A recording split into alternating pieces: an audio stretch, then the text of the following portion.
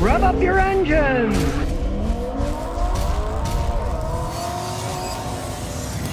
Today I'm to answer a question that's been bugging me for a long time. Why do people buy Volkswagens? In this case, a Passat. Now, this is a 2012 Passat, but it goes for any of them. The prices are to be for 2012. Back in 2012, you could have got a Toyota Camry for about $1,000 more. So you'd save a grand buying this Passat. But the Passat has about 25 less horsepower. And I can guarantee you, this thing's gonna cost 10 times the repair of anything you'll have to do on the Camry. For example, the wipers are broken on this vehicle. And as you can see, this thing's only got 45,000 miles on it. Dealers say it's a bad computer module and it's gonna cost $1,264 to fix the wipers. Take my old Celica. 240,000 miles. The wipers still work, and if they break, it's not gonna cost that. Why on earth those wipers are broken already is beyond me. But that's typical on Volkswagens in the United States. This particular one was made down the road in Chattanooga. The German ones, I have to say, are better made. Now the Passats they sell in Germany and Europe, for example, the late model ones, they're better built. The German model, for example, has 122 more horsepower than the American model. So they sell them all over the world. But here in the United States, it always has me scratching my head why people buy these things. But that is until I drive one. Since Volkswagen bought Porsche and Audi ages ago, they put all that high-tech fancy car technology into their lowly Volkswagens. Take the transmission. This is a a DSG six-speed automatic transmission. It has two clutches in it and six speeds. You can put it in automatic mode when you put it in D, or you can flip it over and it's then a standard transmission that you shift by pulling down or pushing up. This is an older one. You can see it doesn't have a paddle shifter on. You got to shift here, but still, you can do it manually. Put it in a manual mode there it is. As you can see, it's in first gear. One, two. We'll leave it in first gear. And this is the reason people buy these cars. We're to take off. First, we'll straighten the car. We're to take off. They got plenty of zip. Shift pretty smooth when you shift them manually, too. They corner like a dream. These things have no problem steering through the twisties, none whatsoever. No understeer, no oversteer. They are great driving cars. There's no lying about that. They're fun to drive and that's what sells them. The problem is, they're not fun to fix when they break. These DSG 6-speeds, when they break down, and they do break down, they can cost six, seven, eight thousand dollars to replace or repair. They are super expensive technology. But when these transmissions and engines are working right. We'll come up here to a little stop and show you. I'm not even going to use the mode of shifting myself. I'm going to put it in automatic transmission mode. But we're going to have it in sport, which is quicker. Here we go. This thing takes off. You can feel it shifting very smoothly. These are fun, zippy cars to drive. That's all they sell these things. They're responsive, quick cars. But of course, since Volkswagen owns Porsche and Audi, these things have scores of computer modules. When they break, they cost a fortune to fix. As in the case of the wiper blades here, it's over 1200 bucks to fix your stupid wiper blades on a car that's only got 45,000 miles on it. But they're so much fun to drive on twisty roads.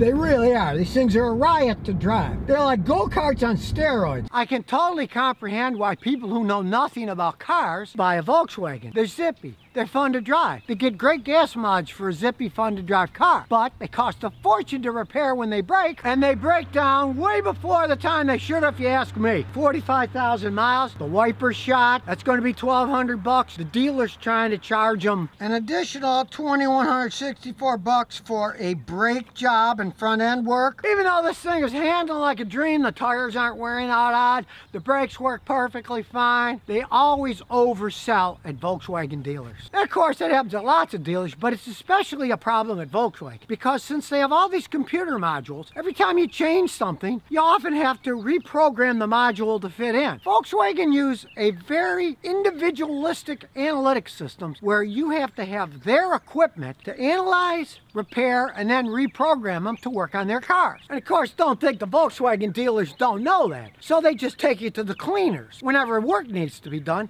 because they know, oh, well, these other guys, they can't reprogram this module. And then they just start trying to sell you the kitchen sink every single time you bring it in. Now, I expected this kind of stuff in a big city like Houston, but here in Tennessee, I see the same thing. It's no different. There's still Volkswagen dealers with high-tech cars that the old Volkswagen Beetle with a simple carburetor and a standard transmission that you can fix in 10 minutes, very easy to work on. Those days are long gone. All the Porsche, Audi technology that Volkswagen bought when Volkswagen bought Porsche and Audi is now in these things. And especially true of modern Volkswagens. There's plastic crap everywhere. It's already breaking on this thing, even with 45,000 miles. And these Passats, the ones made down the road here in Chattanooga, they're not going to be making in the future. They're not going to make anymore. And they're going to stop making the Passat sedans in Europe too. Volkswagen, of course, is making a big push towards electric cars. And all I got to say is, let's hope Volkswagen does a better job with electric cars that they've done with gasoline and diesel cars when you consider this thing only has 45,000 miles on it and is having problems. Well, they won't have DSG fancy expensive transmissions to break because they don't have those in electric vehicles. They won't have little bitty engines with turbochargers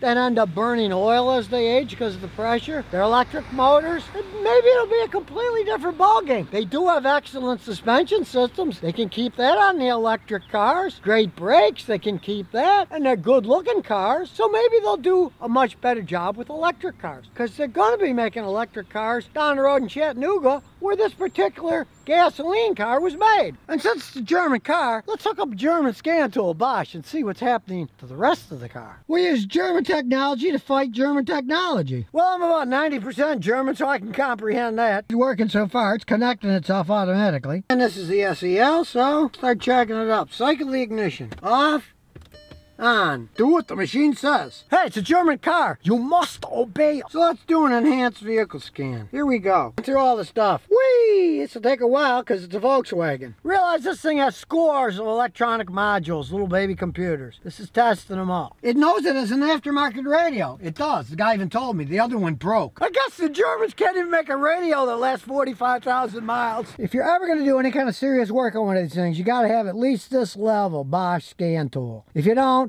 you might as well be pissed in the wind trying to work on these things. That's one of the reasons they charge so much at Volkswagen. They know a lot of guys can't work on these things. As you can see, it's going through a whole bunch of stuff. It's only part way done. Check all these mods. It's got problems in the gateway, seat adjust, navigation, door driver, steering assist. All that stuff is computer controlled on these Volkswagens. You have to realize, modern Volkswagens, they are not your father or grandfather's Volkswagen, the old Beetle, simple. A guy with a screwdriver and a hammer can fix them.